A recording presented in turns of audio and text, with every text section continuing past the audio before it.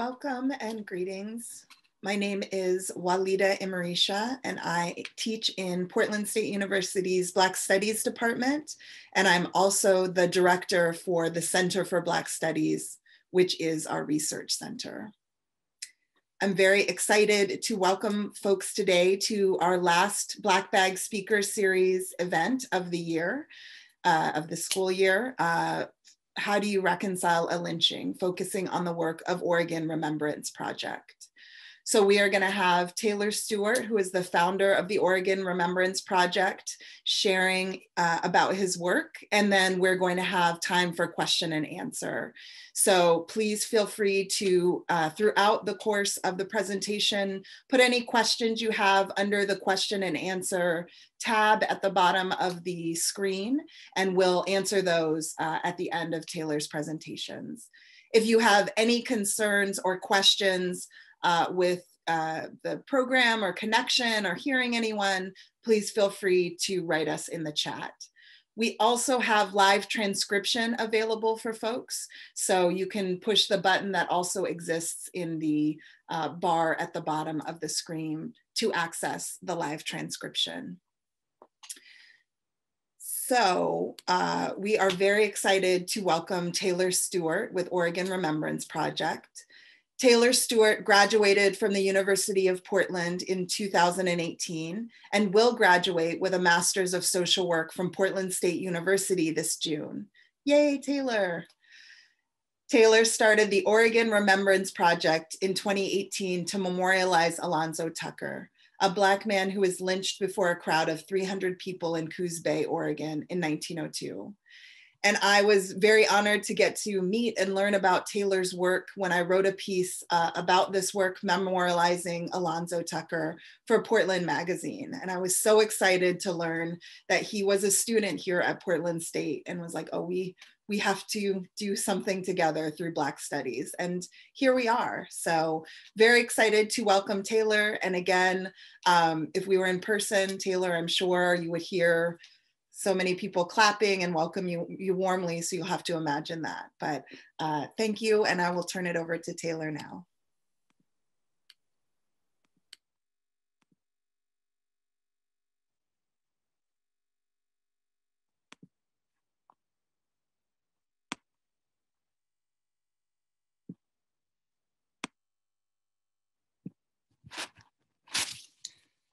All right. Good afternoon, everyone. Uh, I'm Taylor Stewart, and I'm pleased to be joining you this afternoon.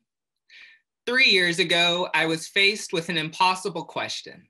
How do you reconcile a lynching? How do you find justice for historical injustice?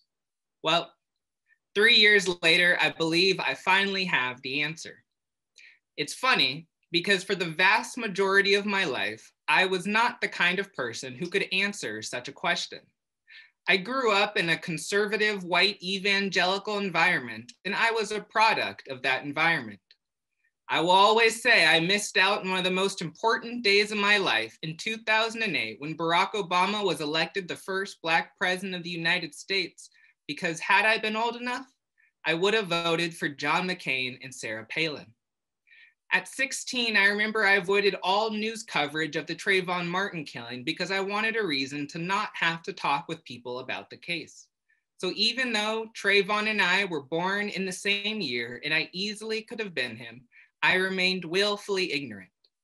At 18, I graduated high school a registered Republican with the dream of becoming a tough on crime prosecutor.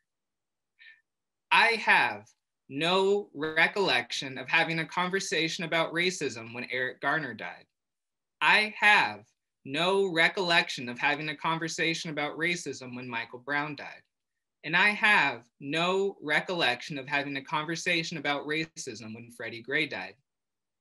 I started my college education at a conservative Christian university, and I would probably still be on that same path to the DA's office had I not transferred to the University of Portland. I started my time at UP taking philosophy classes that got me to think more critically about why and how I believed what I believed. I took an argumentation and advocacy course that got me to start thinking more deeply about social issues. I took an intercultural communication class and a communication across barriers class that got me to realize the issue of race that I'd been avoiding my whole life was centrally important to the fabric of our society. With this newfound perspective in the rise of Trumpism, I realized that a post racial America did not exist and that Trump's election reflected the moral standing of our nation. I finally realized that the answer to the question I'd wondered my whole life of what would I have done had I been around in the 60s was what was I doing right now? So, after two years of a gradual ideological shift, I switched from wanting to be a prosecutor to wanting to be a civil rights lawyer. And because of this, it just so happened that my senior year, I noticed a flyer in one of the academic buildings advertising this thing called the Civil Rights Immersion. And so I thought to myself, hey, civil rights, that's something I'm into now. So I signed up thinking I was going on a simple sightseeing trip but instead this trip would completely alter the trajectory of my life. We traveled to Alabama, Mississippi, and Arkansas.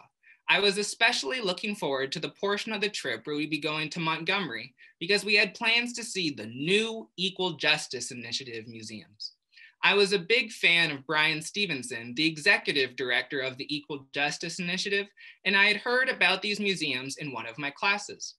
In April 2018, the Equal Justice Initiative opened up two museums. The first was the Legacy Museum, which chronicled the link between slavery and mass incarceration with the belief that slavery didn't end in 1865, it just evolved. The second was the National Memorial for Peace and Justice, or the Lynching Memorial.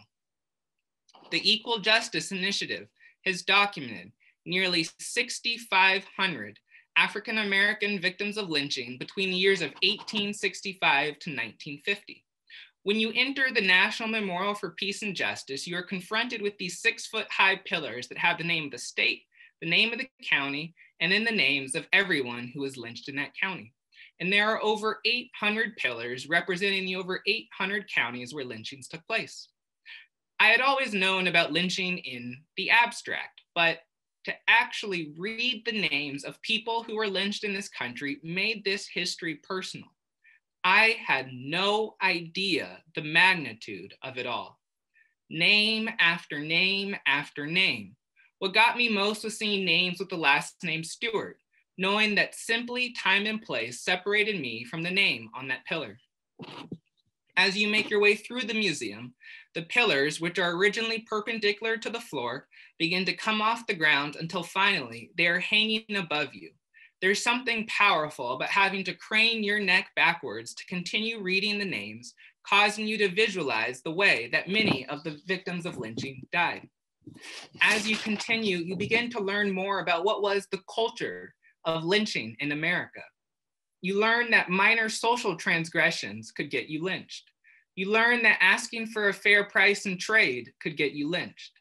You learn that sometimes when the white mob couldn't find who they were looking for, they would simply lynch an innocent bystander. When you stand in the center of the museum and look around you, you are surrounded by the 800 pillars, symbolizing the crowd that was so frequently present at these events. At this spot in the center, our tour guide told us about her hometown. This was a small town in Alabama.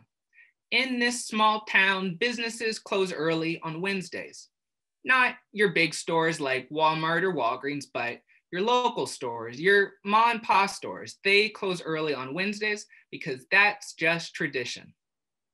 Well, that tradition started so that everyone could make it to the lynchings on time because lynchings were held on Wednesdays.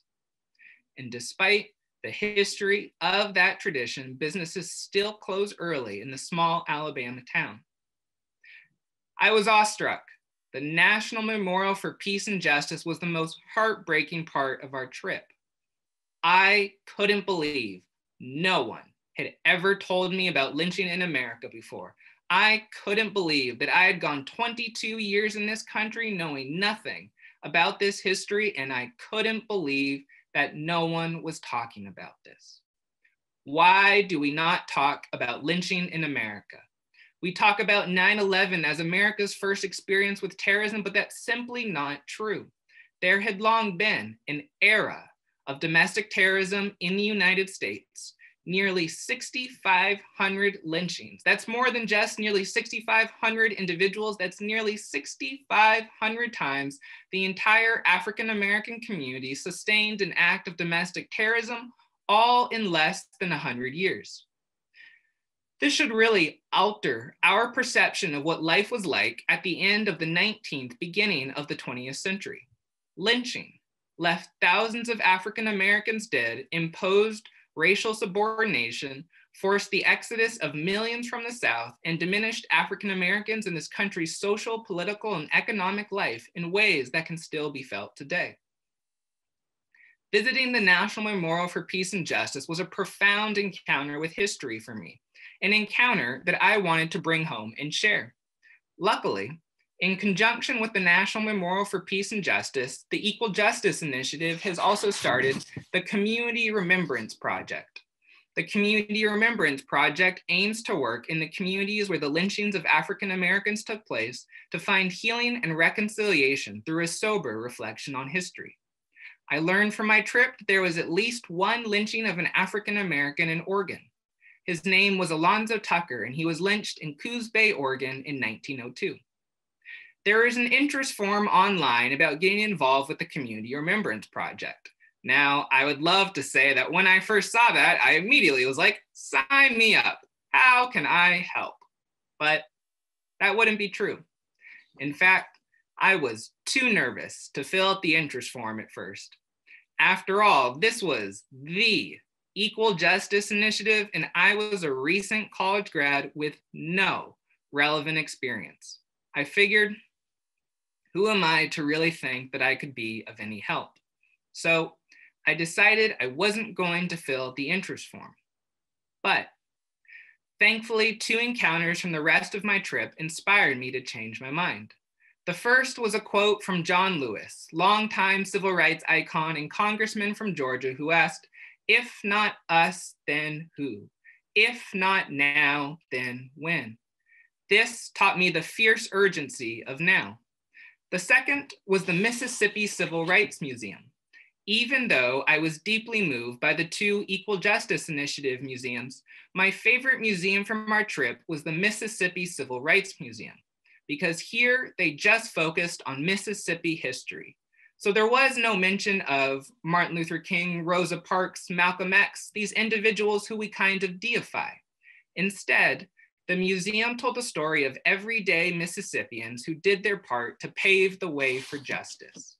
And so, there at the Mississippi Civil Rights Museum is where I learned that you don't have to be an extraordinary person to do extraordinary things. And so, these two encounters gave me the courage to reach out to the Equal Justice Initiative, and three years later, here we are. I'll talk a little bit more about what we've been doing in Coos Bay a little bit later.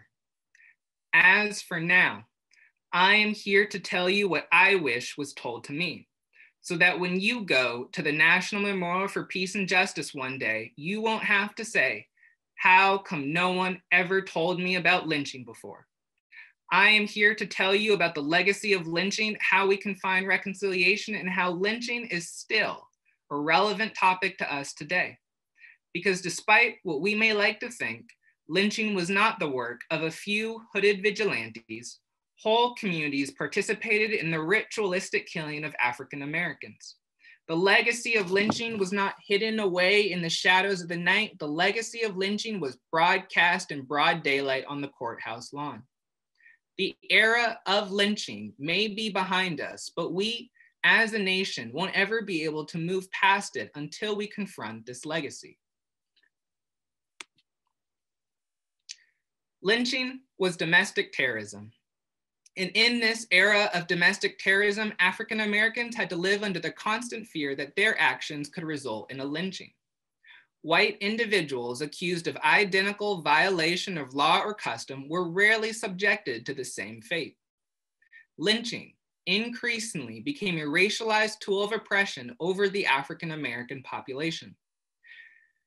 This history should make us all feel uncomfortable the barbarity, impunity, and spectacle of lynching are difficult to grapple with. What's most horrifying is the celebration of lynching, the way it was exalted in the white community. When you see pictures of lynchings, it's not the black bodies that are most chilling, it's the sea of white faces looking on that are most ominous. The way they smile, the way they lean into frame, I know no greater depths of the depravity of humanity than lynching in America. Black suffering became white entertainment. So, what precipitated lynching? Well, a variety of things. One of the most common was the accusation of sexual assault, which was largely driven by the pervasive fear of interracial sex. During this time period, the mere accusation of rape was enough to incite a mob, and any action that could remotely be interpreted as a Black man seeking sexual contact with a white woman was subject to this pervasive fear. Something as innocuous as a Black man accidentally bumping into a white woman could result in the accusation of sexual assault. This would be because the myth of the Black male rapist permeated society, as it was a widely held belief at the time that white women couldn't willingly consent to sex with Black men. When famed anti lynching advocate Ida B. Wells challenged this myth about lynching and asserted that when in fact there was a charge of rape, in many instances it was really a consensual relationship, a mob burned down her newspaper and threatened to lynch her. Despite the overwhelming history of the rape of Black women at the hands of white men, a social frenzy ensued at the mere thought of sexual contact between a Black man and a white woman. Moreover, the narratives from the white press were especially sympathetic to these types of lynch mobs and helped perpetuate the hypersexual stereotype of the Black male rapist. More than half of the Equal Justice Initiative documented lynching victims during the Jim Crow era were killed under some accusation of committing murder or rape. This would be because the deep racial hostility of the time inspired increased suspicion on the Black community whenever a crime was discovered, even when little evidence tied the accused to the crime there was a presumption of guilt associated with Black skin, and it would be this Black skin that was so frequently sentenced guilty in mob trial. However, it wasn't just accusations of a crime that resulted in lynching. Violating the rules of the social order also had fatal consequences. There was a saying at the time that what the law cannot do, the noose can. African Americans were lynched for things like speaking disrespectfully to a white person, refusing to step off the sidewalk, reprimanding white children, arguing with a white man, and other perceived social infractions. African Americans had to live with the knowledge that they could be lynched whether they intentionally or unintentionally violated social norms. I personally cannot imagine what it was like to be Black and to have to travel into the white part of town, knowing the slightest misstep could get you killed at any moment.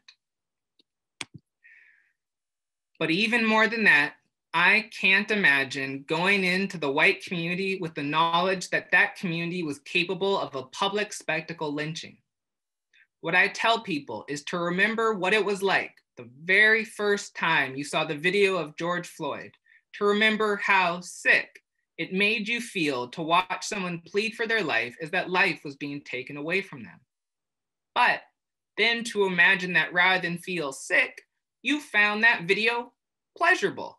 Not only that, imagine you found it so pleasurable that you would get together with your friends that you could all enjoy the video together. Imagine getting a whole crowd of people together on that Minneapolis street so that you could all be there live for the killing of George Floyd, because that's what public spectacle lynchings were like. Public spectacle lynchings were those in which large numbers of people, sometimes in the thousands, gathered to witness the pre-planned killing of an African American in a manner that included prolonged torture, dismemberment, and or burning of the victim. These were carnival like events that included food vendors, photographs, and the selling of body parts. It was especially popular at that time to take a picture of the lynching that could then be turned into a postcard that could then be distributed to friends, family, or merely kept as a souvenir. Sometimes the mob would discuss how they were going to distribute the lynching victim's body parts in front of the lynching victim while they were still alive, and those body parts would then be kept as cherished family heirlooms and passed from one generation to the next. Public spectacle lynchings were brazen, celebratory acts of sadism that implicated the whole white community and sent a clear message that Blacks were undeserving of even the slightest bit of human dignity. This would be because lynching was always meant to send a message. Lynching was about much more than simply killing someone. It was meant to terrorize. You know, my biggest takeaway from the first week of the Derek Chauvin trial was how traumatized the bystanders were from George Floyd's murder. Witnessing that level of callous violence has left an indelible impact on the psyche of these individuals. They will live with this PTSD for the rest of their lives. I can't even begin to imagine the trauma that resulted from white mobs forcing other Black people to witness lynchings. Some mobs would specifically harness this terror and disrupt any feelings of safety in one's community by conducting their lynchings within the Black part of town or many other times, dragging the body of a lynching victim behind a car throughout the Black community to continually instill this fear. Recently, Survivors of the 1921 Tulsa massacre testified in Congress, and a hundred years later, one survivor said, I still see Black men being shot and Black bodies lying in the street. I hear the screams. I live through the massacre every day. It is truly insidious, the terror inflicted on African Americans by the white mob. However, in the face of this terror, Black people were sometimes lynched simply for asserting their own humanity. The targets of these lynchings were frequently sharecroppers, ministers, and community leaders who resisted being mistreated or espoused Black advancement beyond the confines of the Jim Crow era. These are the lynchings that bother me the most, because if I were doing this work 100 years ago, I would probably be one of these lynching victims. Lynching became a tool to keep African Americans in a state of subjugation and repress African Americans' fight for economic power and equal rights. We cannot discount the role lynching played in creating a state of second class citizenship and slowing African American progress during the 20th century. It was nearly impossible for African Americans to build wealth when building that wealth put them at direct risk of violence and the effects of that inability to build wealth due to lynching can still be felt today. It is difficult to fathom what life must have been like for African Americans living during this time. One can even begin to understand the trauma that resulted from these events, having to watch your friends, your family, your community lynched over and over again we talk about how difficult it was on the Black community to see Ahmaud Arbery, Breonna Taylor, and George Floyd all killed in such quick succession. I can't even imagine the psychological toll that would have taken had those all been brutal lynchings. I don't believe we will ever be able to fully comprehend the extent of this era of terrorism. Lynching wasn't just a Southern phenomenon, though. Over 300 lynchings occurred in states outside of the South. The same anti Black racism that fueled the lynching era in the South existed in the rest of the country as well. There are quite simply just fewer Black people in these states. And so, because of lynching, we got the Great Migration. Between 1910 and 1970, 6 million African Americans would flee the South. In 1910, 89% of the African American population resided in the South, but by 1970, that number would decrease to 53%. Our modern day racial demographics reflect this mass movement out of the South. The Department of Labor investigated this migration and observed that, quote, the most effective cause of the exodus is the Negro's insecurity from mob violence and lynching. There was a famous lynching in Memphis, Tennessee, where the lynching victim's final words were, Tell my people to go west. There is no justice for them here. Admittedly, the growth of northern cities and the prospect of new economic opportunities did draw out Blacks from the South. However, the terror of lynching forced millions to flee the region as refugees from violence. I believe we must pay witness to this era of domestic terrorism. We cannot say enough about the psychological wounds inflicted on the African American community, nor can we understate the psychological damage the white community passed on from generation to generation in this socialization of violence. Nor can we ignore our state institutions' indifference, complicity, and endorsement of lynching. And so, as we talk about lynching today, I am here to tell you that we are not as far removed from lynching culture as we would like to think. Emmett Till was lynched in 1955. Realistically, that's not that long ago. There are plenty of people still living today with personal memories tied to this era of terrorism. Some of you might recognize the name Michael Donald. Michael Donald was a 19 year old African American from Mobile, Alabama, who was chosen at random, beaten, and killed by several members of the KKK before they hung his body from a tree. That happened in 1981. Another name you might recognize is James Byrd Jr. James Byrd Jr. was a 49 year old African American from Jasper, Texas, who was killed by three white supremacists when they chained him to the back of their truck and dragged him along an asphalt road where his right arm and head would be severed from his body. His body would then be dumped at a local black cemetery. That happened in 1998. So while these killings differ from the lynchings of the past because the perpetrators of these acts of violence all face legal prosecution, we are not that far removed from the brutality of lynching. The accusation of a Black man sexually assaulting a white woman still creates a social frenzy.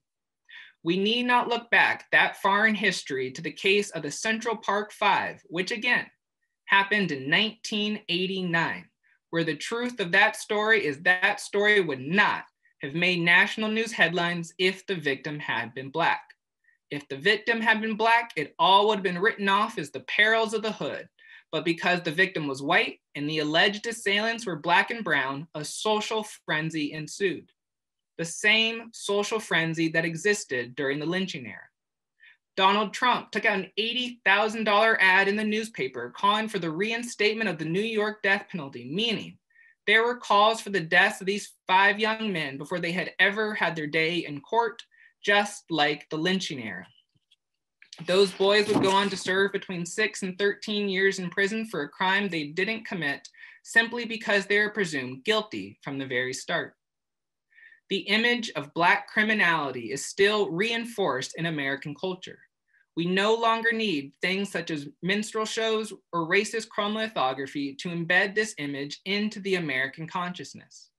The oversaturation of African Americans as criminals in television, movies, and local news has the same effect of reinforcing the idea that Blacks are dangerous and a threat to white society, the same idea that justified lynching. But if we really want to see how lynching has survived, we need not look further than the American death penalty. Our death penalty is the most direct legacy of lynching. At the same time, lynchings in the United States were going down, executions were going up. Lynching began to taper off during the 1930s, in large part due to the NAACP's campaign that decried lynching as America's national shame. Hence, your everyday Southerner began to see the barbarity of these outdoor events. And so, lynching simply moved indoors, where all white juries and expedited trials carried out the same verdict as the lynch mob. During the 1930s, two thirds of all executions in the United States were of African Americans.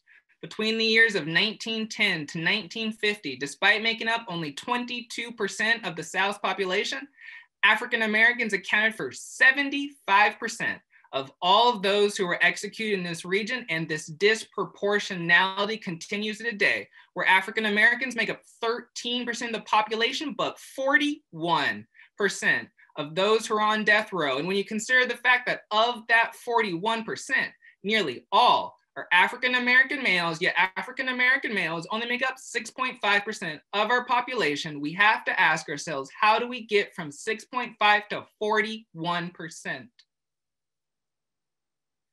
The color of your skin still plays a crucial role in whether our society believes you deserve death or not. When we look at someone and are comfortable saying, you deserve to die, that decision is tainted by racial bias. In 2014, there was a study out of the University of Washington that looked at jurors in Washington state and found that jurors were three times more likely to recommend a death sentence for a Black defendant than for a white defendant accused of similar crimes. Nearly every sophisticated study that has looked at the issue of race of victim in capital punishment sentencing has found that you are more likely to get the death sentence if the victim is white. This is especially true if the defendant is Black. We still treat the accusation of Black on white crime differently. Between 1930 to 1972, 455 individuals in the United States were executed for the charge of rape, and 89% were African American. No white man in the history of the United States has ever been executed for the rape of a Black woman or girl in which the victim didn't die. Ever. Of the 172 individuals who have been exonerated from death row since the reinstatement of the death penalty, meaning individuals that were wrongfully arrested, wrongfully convicted, wrongfully put in prison, wrongfully put on death row, over half have been African American. We are still trying to kill innocent Black people. In Arkansas, it was recently discovered that the DNA on a murder weapon did not match that of an African American man who had maintained his innocence over the 22 years he was in prison. Only problem is, Arkansas executed this man in 2017. The states in the South, plus Texas and Oklahoma, had the highest number of lynchings. And since the death penalty's reinstatement, those states alone have accounted for 87% of all executions in the United States. The same region of the country that lynched is the same region of the country that executes. People always ask, how did the North tolerate slavery? How did the North tolerate lynching? How did the North tolerate segregation? The answer, the same way we tolerate the South right now. We are too busy asking ourselves the question Does this person deserve to die for their crimes? that we haven't asked ourselves the question Do we deserve to kill? Did you know Germany doesn't have the death penalty? Germany knows that given their history, it would be unconscionable for the country of Germany to systematically execute its citizens, especially if a disproportionate number of those citizens were Jewish. The world would be in outrage. We in the United States would be outraged if that were the case. So, where is that same outrage when, given our history, the United States systematically executes its citizens and a disproportionate number of those citizens are African American? Where is the outrage when, given our history as a state, a disproportionate number of African Americans sit on Oregon's death row? Where is the outrage? because I don't hear it. If Black Lives Matter, prove it, because the legacy of lynching and the power of the noose are still alive today. They just look a little bit different. The moral outrage of future generations is hypocritical. We condemn the institution of lynching while failing to condemn its legacy. Everyone wants to say that if they had been around during the lynching era, they wouldn't have stood by. They would have said something. They would have done something. Well, I can tell you, lynching is still going on. You're still standing by, still not saying anything, still not doing anything. We are burdened by our history of injustice, but more importantly, we are burdened by our history of silence and inaction. But I'm here to tell you it doesn't have to be this way. We have the power to recreate our relationship with history and rewrite the ending to history's stories. That's what we're trying to do in Coos Bay, Oregon. Our collective memory and our collective consciousness hold power. What we choose to remember, as well as how we choose to remember history, is a reflection of the soul of our society. We are trying to insert this story of Alonzo Tucker, Oregon's only documented African American victim of lynching, into the collective memory and collective consciousness of Oregon. We cannot change the past, but we can always change our relationship to the past. What we need is reconciliation with history. We must reconcile the historical discrepancy between who we say we are and who we actually are. Bryan Stevenson, Executive Director of the Equal Justice Initiative, says truth and reconciliation are sequential. So, in order to get to reconciliation, we must first engage in the requisite truth telling. And we have started this truth telling work in Coos Bay. On February 29, 2020, we held a soil collection ceremony for Alonzo Tucker near the spot where he was killed. We collected two jars of soil, one that was sent back to the Legacy Museum in Montgomery, and the other that is now on display at the Coos History Museum. Hidden in this soil is the story of Alonzo Tucker. The soil was gathered from three locations, and each bit of soil tells part of the story. The first bit was gathered from the mudflats underneath the local docks. After being wrongfully accused of sexually assaulting a white woman, Alonzo Tucker was arrested and a mob formed with the intention of lynching him. In the midst of being transported away from the mob, Alonzo Tucker escaped and hid in the mudflats underneath the local docks. The mob stationed guards across town and kept watch throughout the night. So, in this soil holds what must have been the longest, most sleepless night of Alonzo Tucker's life. I cannot imagine what must have been going through his mind that night. The soil also holds where Alonzo Tucker would once again be found, this time in the morning, with the crucial detail being that he was discovered by two young boys, meaning that just like a Southern lynching, this Oregon lynching had become so communal that even children were involved in the hunt for Alonzo Tucker. Alonzo Tucker would try to escape the mob and despite being shot once in the leg, managed to run into a shop and cry, Lord, have mercy on a colored man. However, there would be no mercy for him. And so the soil gathered from the second location was where Alonzo Tucker would once again be shot, this time in the upper body. This left him incapacitated and allowed the mob to put a noose around his neck with the intention of lynching him from the spot of the alleged assault.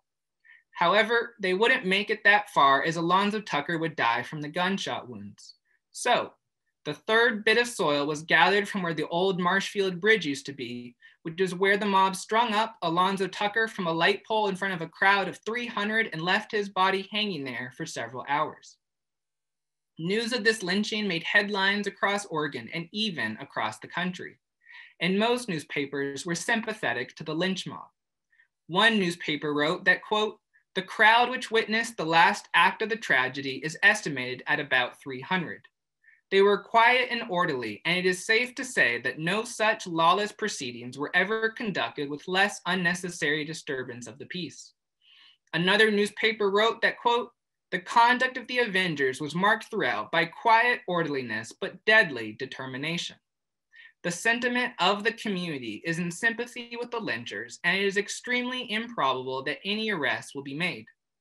That would be true, Despite this all occurring in broad daylight without a masked man in the crowd, no one would ever be held accountable for the lynching of Alonzo Tucker.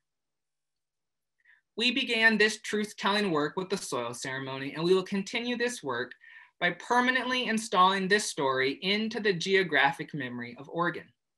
On June 19th, 2021, we will be installing an Equal Justice Initiative historical marker in Coos Bay. The historical marker will be two sided.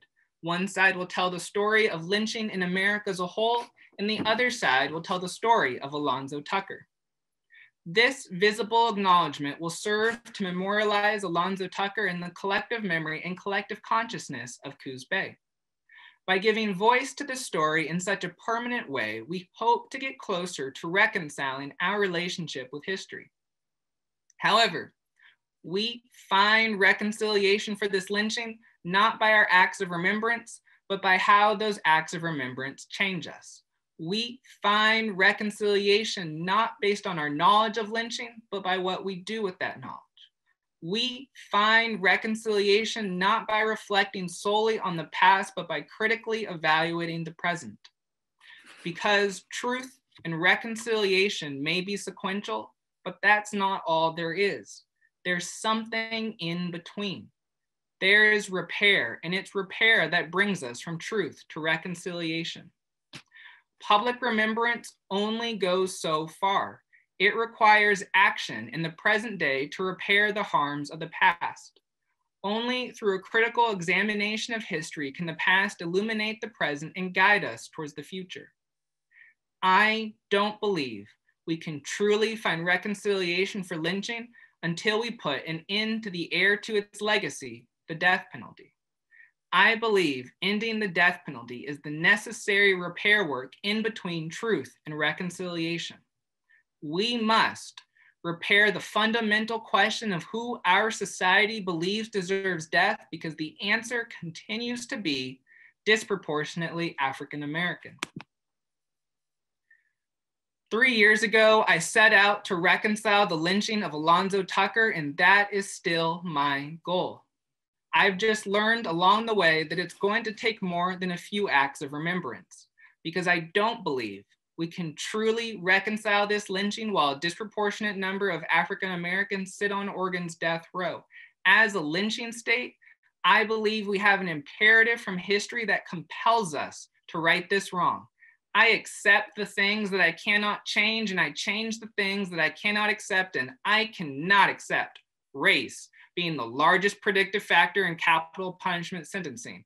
I cannot accept the continuation of lynching, and most importantly, I cannot accept that no one is talking about this.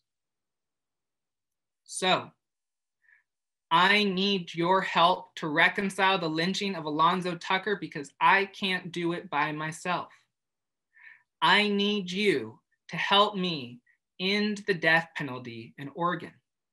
So, there are three things you can do for me. First, I need you to follow the Oregon Remembrance Project on social media Instagram, Facebook, or Twitter. Second, I need you to be in attendance for the June 19th historical marker installation. It will be streamed online. There were 300 people at the lynching, and my goal is to have more than 300 people paying witness to that lynching on this day. But third, and most importantly, I need you to tell someone about lynching and the death penalty.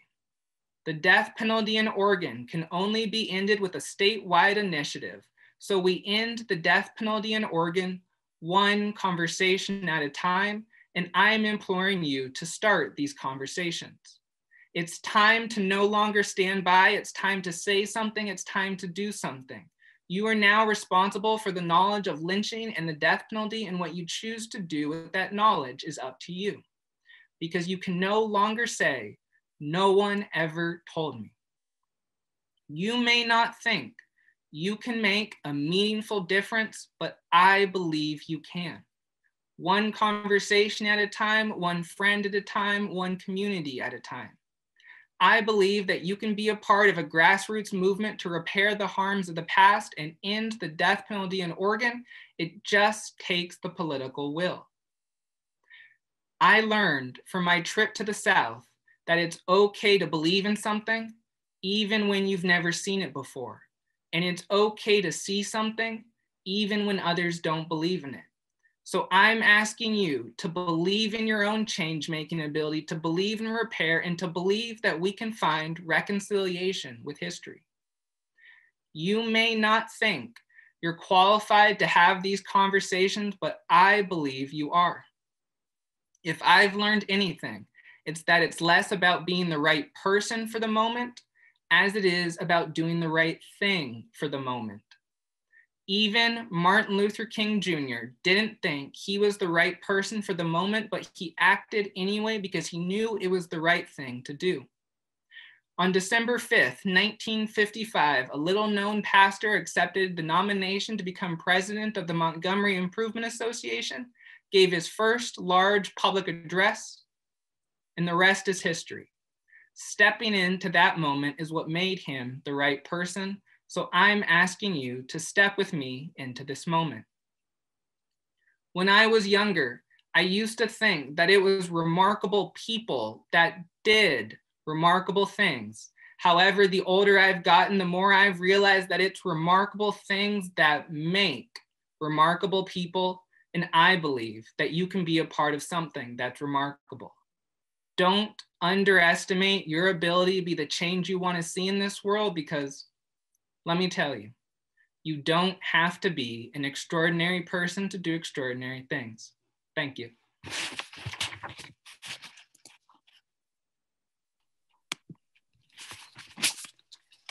Thank you so much, Taylor, for that incredible presentation, taking us through this history and connecting it here to Oregon, as well as offering action steps uh, and movement forward. So we have a number of questions in the chat, and I also have questions as well. Um, and so I'm the moderator, so I'm going to start with one of mine.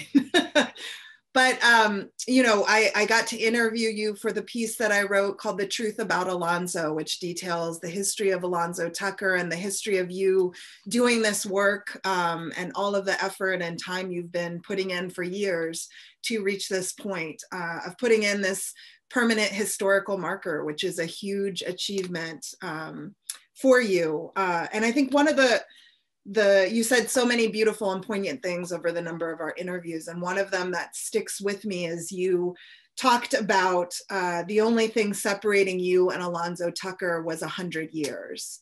And that uh, i found so powerful and, and moving and you you also mentioned that as well uh, with a number of the lynching victims today. And i i guess i just wanted to uh, ask you to extrapolate a little bit more about that framing yeah, um, you know, that is uh, why the National Memorial for Peace and Justice was so moving, uh, because it went from sort of this abstract concept of lynching America to something personal.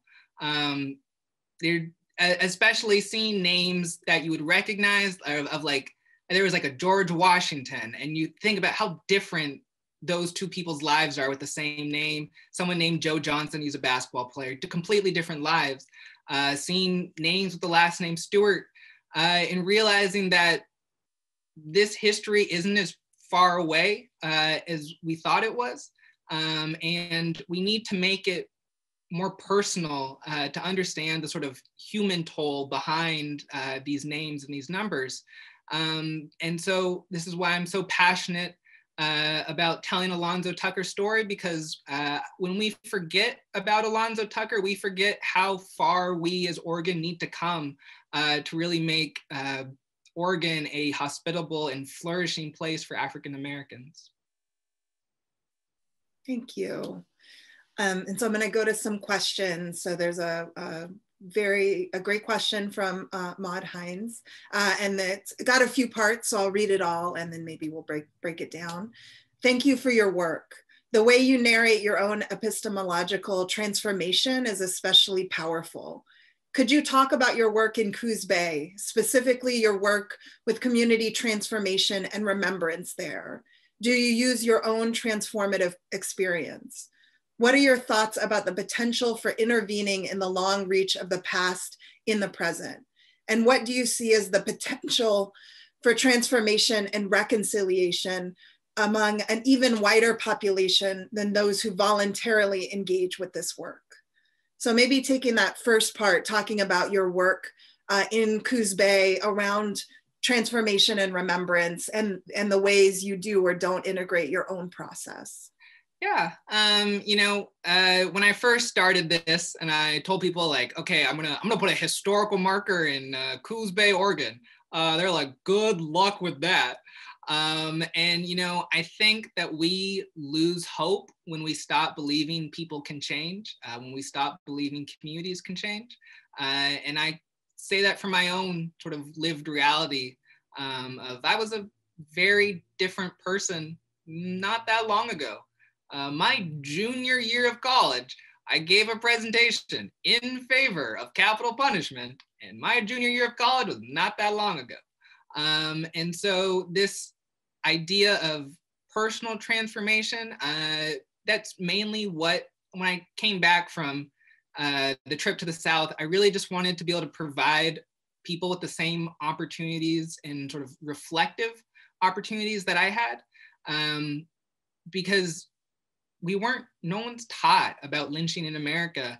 Uh, and that hinders our ability to sort of understand our present. Um, and we have a responsibility to the history that creates our world today.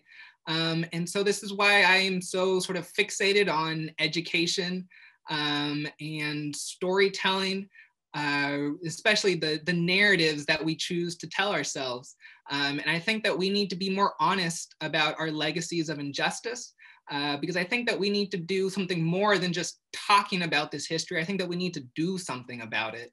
Um, and learning about the legacy of lynching has changed my life forever. Um, and so I just hope that learning this history uh, on an individual and communal level um, can help uh, folks. And so that's what we've tried to do in Coos Bay, um, talk about the legacy of lynching, uh, but also this, this the important idea that we can rewrite the ending to history stories. Uh, and so the story doesn't have to end uh, in 1902, uh, and we can sort of fill in the rest here in 2021 that's such a powerful framing that idea of us getting to actively write history and to make sure I, I, just love that imagery to make sure that alonzo tucker story specifically, but the story of all of these people does not end there, that we are carrying it forward and that we're part of, of writing a different um, reality and legacy. Um, so the second part of Maud's question, I'm going to combine with a, a, a, few other questions that are really talking about how do we reach folks. Um, and so, you know, Maud is saying, how do we, how do you see this as possible of reaching even a larger population uh, than the people who are voluntarily engaging this work? How do, how do we engage with people who maybe aren't showing up? Uh, and there were a couple questions just around specifically talking about this work on lynching you know, showing these horrific photos. And there's been a lot of conversation. You made a lot of connections with the police murders of Black people and showing videos of that and not showing videos. Um, how do we how do we use that or not use that as an engagement tool with these larger populations, especially who have already decided to tell whatever narratives they they feel most comfortable with. So, you know, kind of how do we engage is it important to engage in that way? And if so how do we? Yeah um you know i guess uh really it's about controlling the narrative um and in finding avenues to do that. Uh and so uh what's in our geographic memory uh, the stories we choose to hold uh, the stories that we tell in institutions uh, in academia uh, from a museum perspective uh, has a very sort of fixed uh, spot in our society. Um, and so that's why I sort of generally gravitated towards um, the narrative creation from the perspective of history. Um, and, you know, I know you know this, uh, but in this, you know, in this work, you can't save everyone. Um, not everyone is going to care. Um, there's a lot of people who do not like this project. Um, but you know, I am I'm a little bit of an optimist, um, and I really believe in people's capacity to choose justice. Uh, and so mainly it's about getting them to see injustice. Um, and so, you know, just getting people to, to actually care um, that we had a legacy of lynching in America. Um, and I think part of what gets people to care is to realize that they have some sort of personal stake in this history, that it's not just sort of separate from us, um, that we live with the legacy today. Uh, and so making those connections between the past and the present is at least what got me to care. Um, and so that's generally what I, I try to do for folks is to make that connection. Um, and then, you know, sort of the choice is up to them of like, now that you've heard this, like, what do you want to do about it? Um, and I can only, only hope so much. Absolutely. I think that's a great, it's important for folks to know that. And I think that, you know, the history that you talk about with the civil rights movement specifically is important to remember that folks act because it's the right thing to do, not because they have the majority of Americans behind them. The majority of Americans hated the civil rights movement, of white Americans hated the civil rights movement, hated Martin Luther King Jr. And yet history proved them right. And so, you know, I, I, am you know, just think that framing is really important to keep reminding ourselves that you do the right thing uh, you don't wait until everyone agrees with you because you'll be waiting forever. Yeah, I've tried to remember that as people see me things online. I was like, okay, Martin Luther King died with like a 32% approval rating.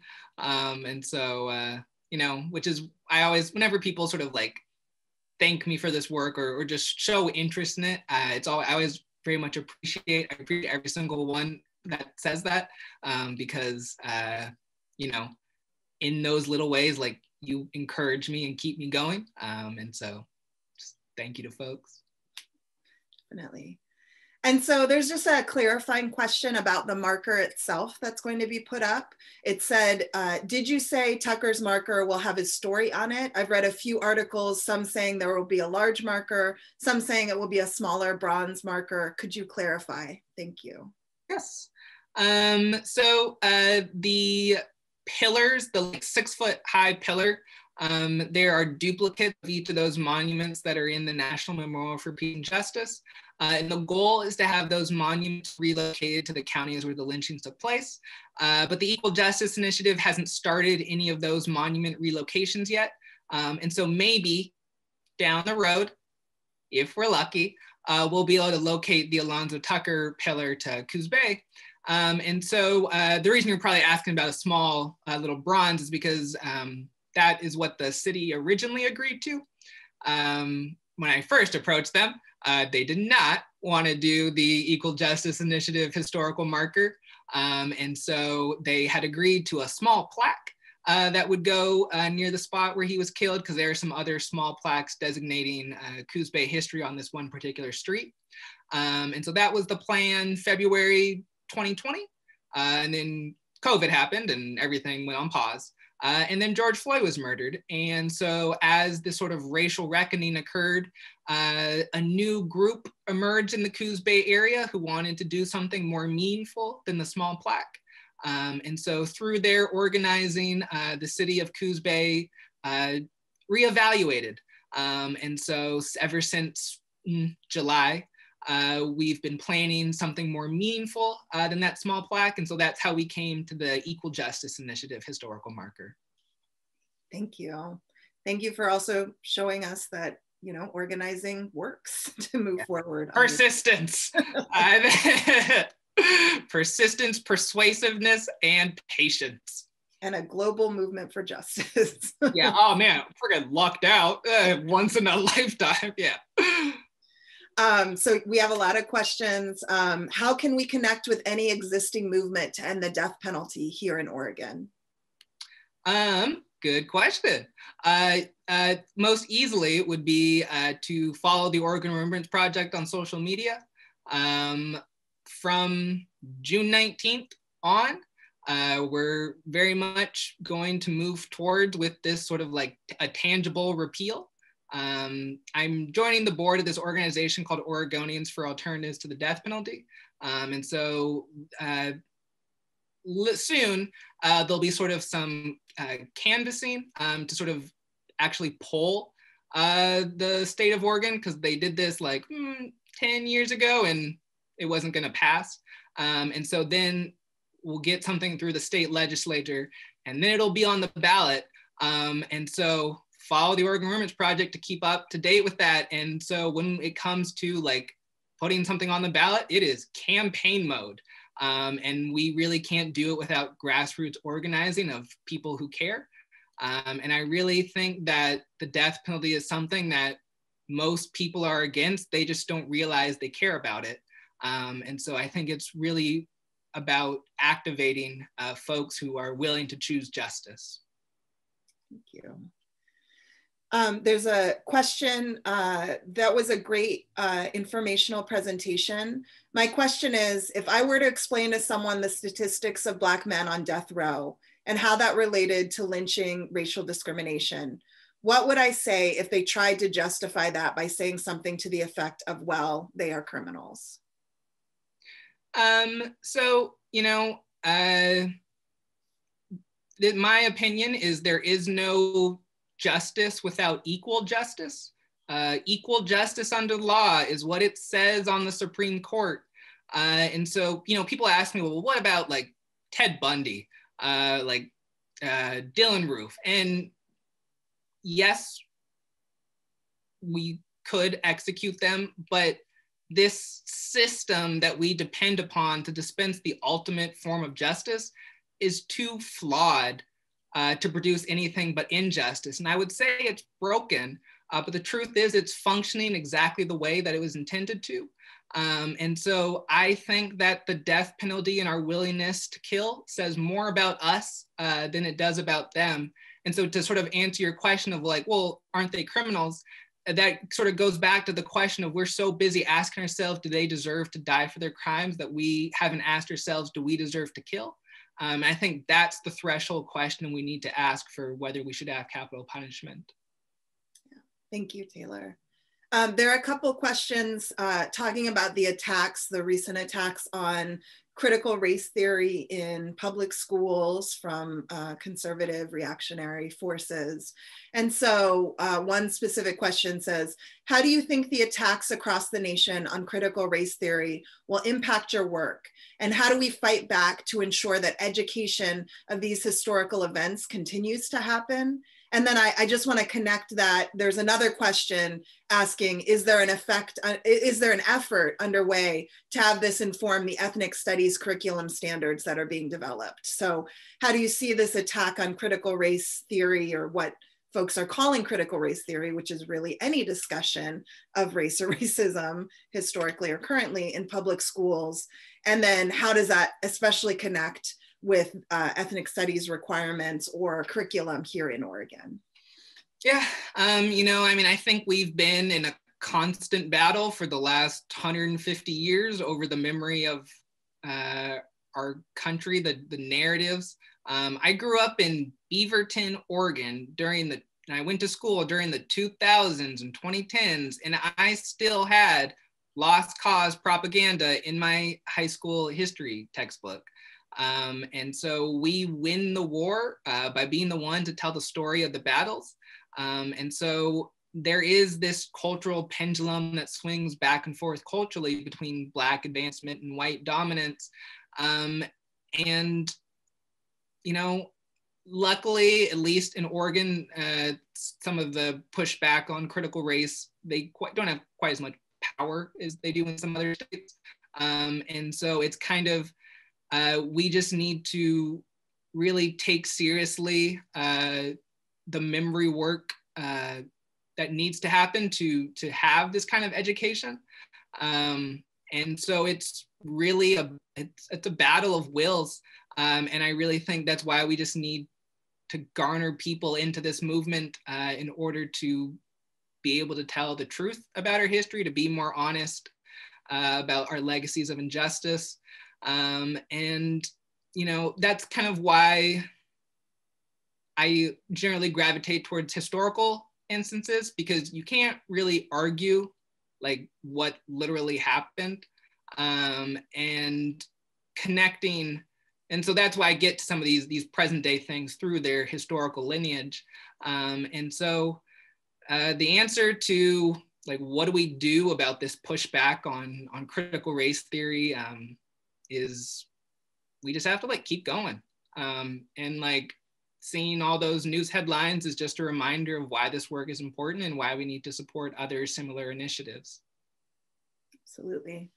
Yeah, and right now, you know, this ethnic studies mandate in Oregon is happening and the curriculum is being developed. So, you know, hopefully those folks are reaching out to people like you who have been holding this work and are able to provide materials to make sure that that curriculum uh, not only represents a, a, national framework around the experiences of people of color with white supremacy and their resistance to it, but also the very deep history that exists here in Oregon. Yeah, um, so I've, I've actually been talking to someone at the Oregon Department of Education um, about, uh, so they're doing like a, a um, so they were going, they're going, they're taking a trip to the Equal Justice Initiative, um, National Memorial for Peace and Justice.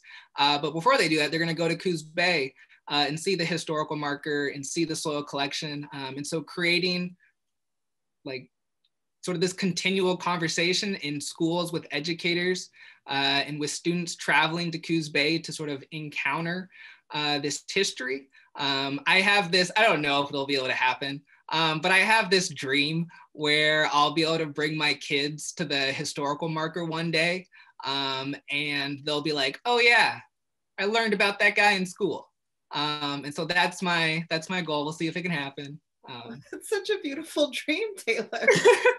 that's so lovely that seeing this work, as you were saying, like not ending the story in the past, not even ending it in the present, but you're projecting Alonzo's story into the future and seeing just his message being told not only today, but institutionalized as part of the narrative we tell into the future. I'm like, oh, old Taylor and your kids. I love it.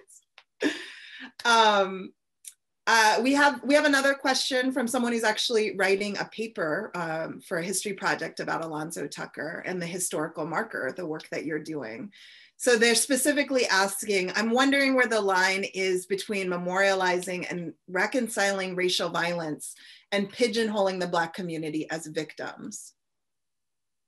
Um, you know, I would say that uh, um, our telling of history is incomplete uh, if we just focus on accomplishments, but it's also incomplete if we just focus on the injustices.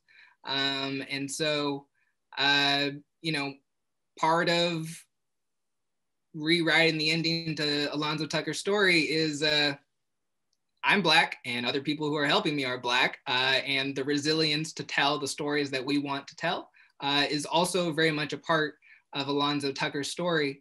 Um, and so, you know, I personally just kind of gravitate towards more telling the injustice stories because everybody likes to celebrate Martin Luther King Day. Everybody likes to celebrate Black History Month, um, where we talk about all these good things, we talk about all the things. We we don't do the necessary reflection that we need continually in order to make our society better.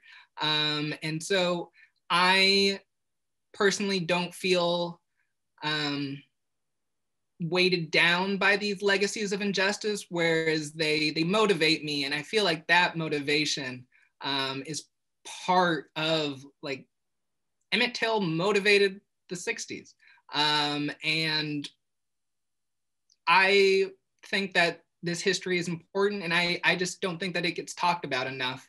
Um, and so I think that part of telling the story of African Americans in Oregon is telling about the difficult parts.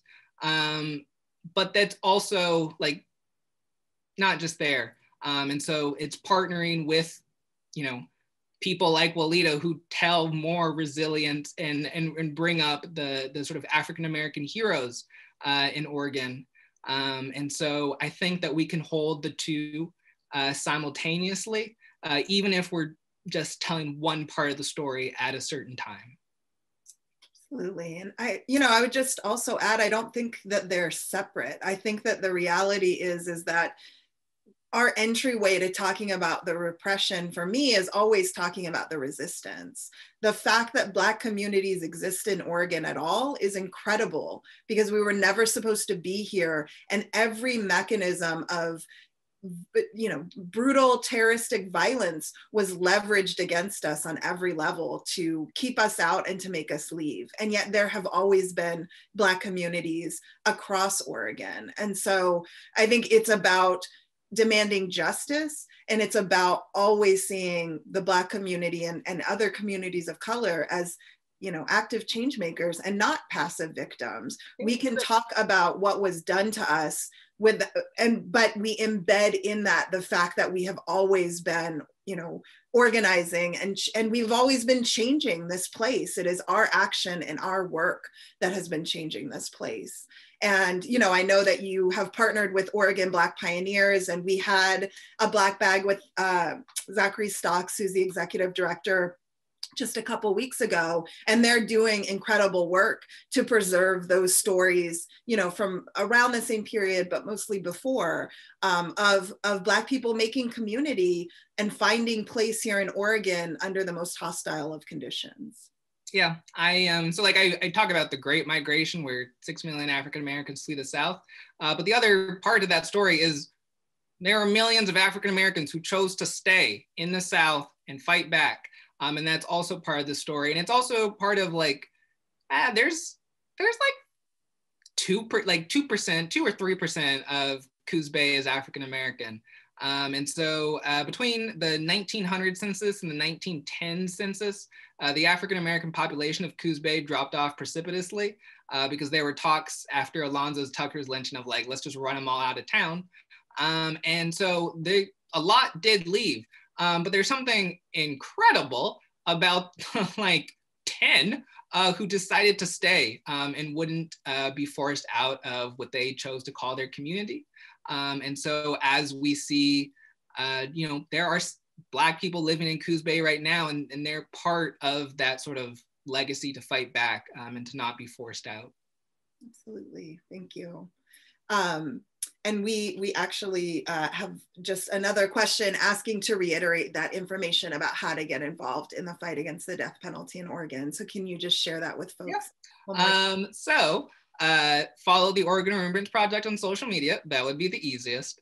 Um, once I am done with school, which is like in a week, um, I will be able to do some of this stuff more full time. Uh, and then from June 19th on, um, I will be sure to have tangible things for you to do.